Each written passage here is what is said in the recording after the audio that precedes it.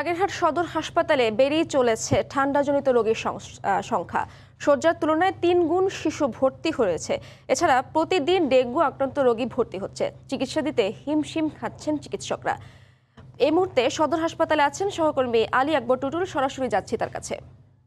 Dengue আক্রান্ত রোগী। আসলে তিন ধরনের রোগী আসলে এখানে কিন্তু ভর্তি হয়েছে। অনেকে হিমশিম খাচ্ছে ডাক্তার বা নার্স চিকিৎসা দিতে।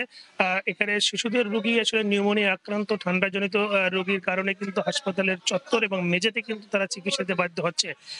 আপনাকে যদি জানিয়ে রাখি যে বাগেরহাটের আহ, সদর হাসপাতালের যে যে অবস্থা এখানে আপনারা দেখতে পাচ্ছেন যে এখানে নানা বয়সী কিন্তু শিশু এখানে ভর্তি হয়েছে। প্রথমে কিন্তু জ্বর কাশি এবং ঠান্ডা। এই এই প্রথমে কিন্তু তারা কিন্তু চিকিৎসকের পরামর্শ নিয়ে এখানে ভর্তি হচ্ছেন। আপনারা দেখতে পাচ্ছেন যে আসলে মেঝেতেও তারা কিন্তু চিকিৎসা নিচ্ছেন।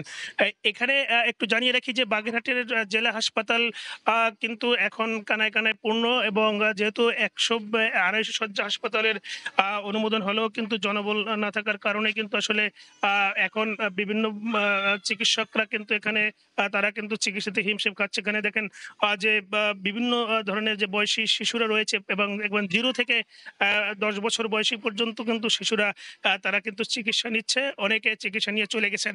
গত এক সপ্তাহে কিন্তু প্রায় আড়াইশো শিশু কিন্তু এখানে এই চিকিৎসা নিয়েছেন ঠান্ডাজনিত কারণে।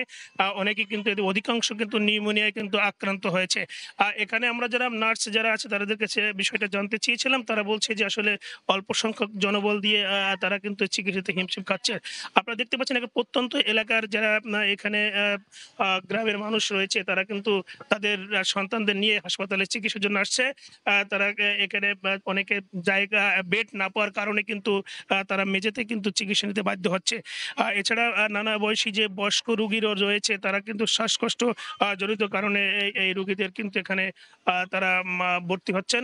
এছাড়া আসলে গত আহ, কয়েকদিনই কিন্তু ডেঙ্গুর যে প্রভাব সেটাও কিন্তু বেড়েছে। সেই ডেঙ্গুর কারণে কিন্তু আজকে সকাল পর্যন্ত এখন পর্যন্ত জেলা হাসপাতালে দশজন রুগী ভর্তি হয়েছে। এছাড়া প্রায়, আর বাগেরহাটে প্রায় দেড় শতাধিক কিন্তু ডেঙ্গু আক্রান্ত রুগী এখানে রয়েছে। ডেঙ্গুর প্রভাব কিন্তু বেড়েছে।